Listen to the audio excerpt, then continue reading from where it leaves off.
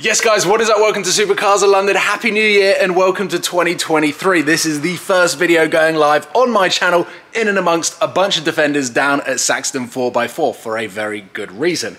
It is currently 2022 and pre-Christmas. A couple of weeks ago, I dropped back the Tesla Model Y and the legends here have let me pick my next car to take on an upcoming road trip to France with my family for New Year's Eve. So I'm going to be meeting up with Shana and Dan, two experts, to help me make that decision. Aha! Hey, how Fancy you? seeing you in between these two beautiful Range Rover Sports. Aren't they beautiful? Santa's sleighs. Yeah. Um, you've got a plan for me.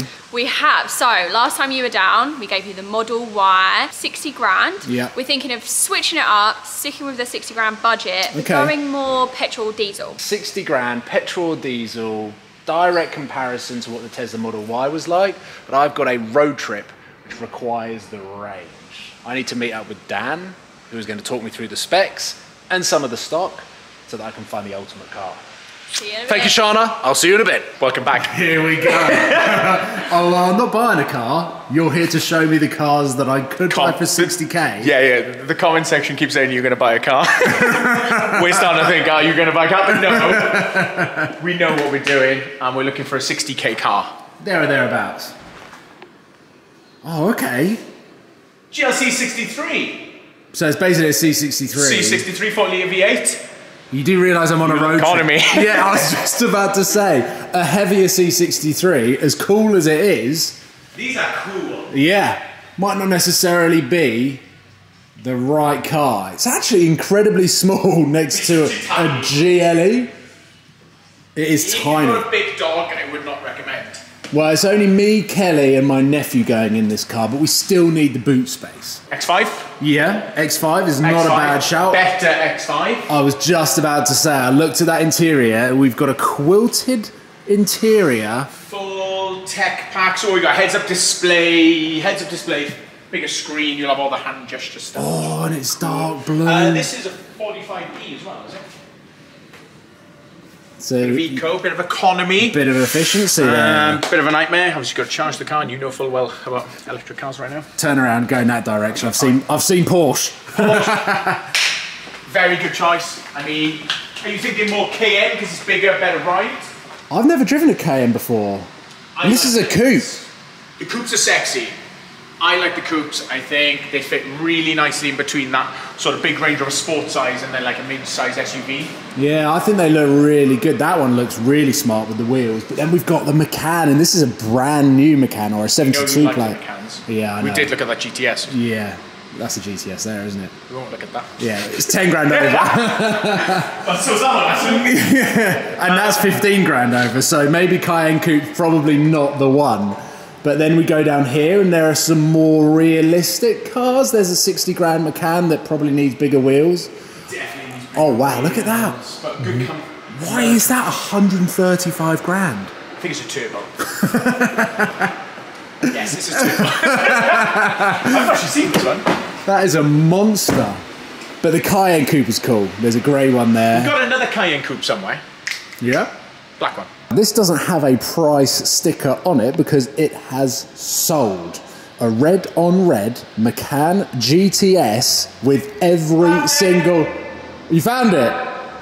I was going to say every single box ticked. It is the most mental Macan I have. Oh, Wallace. Supercars of London, please come down. We're walking past these buttes. I found the one. Come on. Are you showing me this? Look at that. Listen. That S- that one? no, the SQ5. Are you Dakota? It's No. electric. Okay. Oh, look at the price. it's in bru- It's in budget. It's in Yeah. That's cool. So, Is it a coupe or a normal one? coupe, exclusive wheels, dark tinted windows, full D chrome. What else we got? So not a turbo, economy, Yeah. which is good. Uh, there's champion side. This is cool. Oh, it's locked. Standard. Um, heads up display, Bose surround sound. Heated steering wheel. Bose sound system. Bose sound system. We all know. Cayenne Coupe. If you guys didn't know, Paul's a snob with with sound systems. Yep. Doesn't have the Burmester, but I'll let it fly.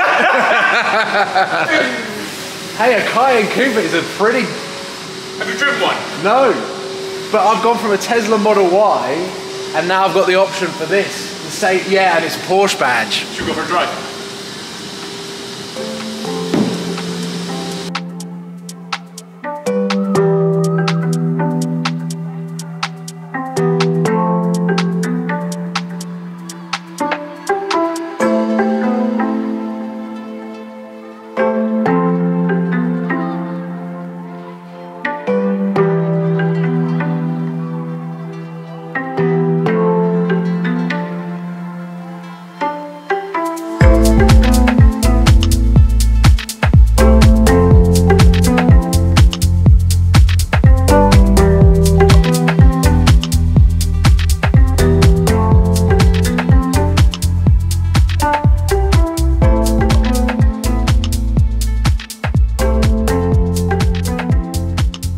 Morning from a slightly windy northeast France with the Porsche Cayenne Coupe. And we've got a beautiful day in the middle of nowhere. I've seen one car on my 20 minute drive. My family are back at the house enjoying a relaxing morning, and I've come out to debrief you all on the drive over because it was pitch black.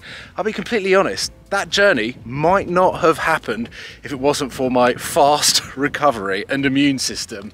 A very aggressive virus that wasn't COVID, I was testing negative, but horrendously came down with an illness over Christmas that was rather unenjoyable. And I didn't know whether I would have the energy to drive this two hours in the UK and then three and a half hours from Calais down towards Reims, Epernay, and all of my French vocabulary of basically where we are. We've got a bit of a disaster. There was a change of plan. I jumped in the car so that I would escape the wind, and squashy have just all spilled down in the door card here. what a disaster. All I wanted was two. Now I'm going to have to have a whole handful. Anyway, as I chew, bear with me.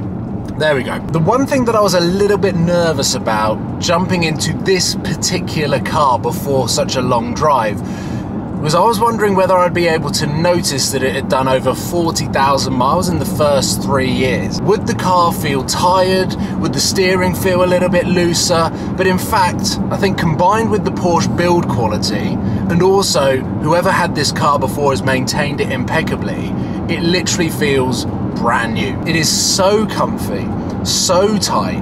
The suspension is near on perfect. The size and the weight of the car definitely add to the luxurious feel of the ride quality, but then take away a little bit of the MPG because that was the one thing, as you would expect, I'm, I'm looking at the fuel economy that let the car down a little bit. I'm a little bit disappointed by it. So when I drove back from Monaco to London in the Nissan GTR with Sam from Seen Through Glass in his F-Type, my Nissan GTR averaged around 23 to 24 mpg, which I thought was terrible. This car, 25. 25 mpg in a car that, okay, whilst it is a Grand Tourer, a luxury SUV, and yes, it has the upgraded optional extra 75 litre fuel tank.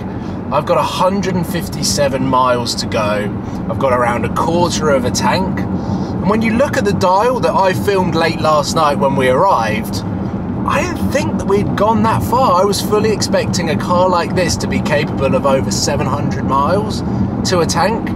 If this car had low 30s to mid 30s MPG, and maybe it does if you're driving at 50 mile an hour, but on a drive like that late last night, you're not doing that. It's the one thing that stuck out. Other than that, this car was a dream last night. We are well and truly into the 1,000 mile adventure in the Porsche Cayenne Coupe. And it is safe to say that this car has had all weather conditions and road surfaces thrown at it in the last week or so. And it is safe to say from the opening drive that I had down into France, where whilst the efficiency left much to be desired, the rest of the car was pretty much perfect. from the sound system to the level of comfort and the way that the air suspension glided over the tarmac, I was in awe and in love with the Porsche brand once again. This car has experienced a lot in the last 1,000 miles, and from behind the wheel, it has only got better and better. And on the journey home, which was done yesterday, it's now the new year, we're in 2023. Finally, Happy New Year, everyone. This car achieved nearly 30 mpg, which I was far more impressed by than the journey out. And I didn't really feel like I was driving any differently. So, this car potentially on long journeys might have a 30 mpg in it. The way that I can summarize this car based on my experience of driving uber luxury SUVs and my limited experience behind the wheel of Porsche, this is a half price Bentayga. Now, you don't have the level of performance and dynamicness that you get from the Bentayga when you slip it into sport mode. But what you do get is a beautiful looking car, a sleek looking car. The coupe definitely looks better than the standard Cayenne and then from the side of the road, as I was filming a lot of the flybys and B roll of this car, I think it's got a real strong road presence and a really enjoyable car to drive. I know that I've emphasized quite a lot on, in this video. But I am shocked and surprised at how good this car is. And for £60,000, it's, it's a half price Bentayga. Sadly, my time with the Porsche Cayenne Coupe has come to an end. I'm back at Saxton 4x4 and I have an entirely different feeling about letting go of this car as opposed to the Tesla Model Y. Both 60 grand cars. And whilst this by no means is absolutely perfect, it is such an engaging drive for an SUV that looks good, has the road presence, but a level of luxury that I know I've mentioned in this video before that is don't really know where you would go for £60,000 to get a better ride quality, a better interior build quality, the practicality, the size, everything has just come together so well. And for my first experience with a Cayenne, it ticks so many boxes and has definitely opened my eyes to the the daily driverness of the Porsche brand. A little bit reluctant to hand the keys back to this car, but again, a massive thank you to Saxton 4x4. We've done so much great stuff last year and we are moving forward into 2023 with some really exciting plans. Not just from a video content perspective we are building a recording studio for a podcast that is going to be taking place in the Saxton 4x4 showroom. So a lot to come from Supercars of London and Saxton 4x4 and maybe just maybe there's going to be a change within the garage with Kelly's Jaguar that feels like it might eventually end up being a Porsche that replaces it. But I will leave it there. Sadly, going to have to hand the keys back to this car.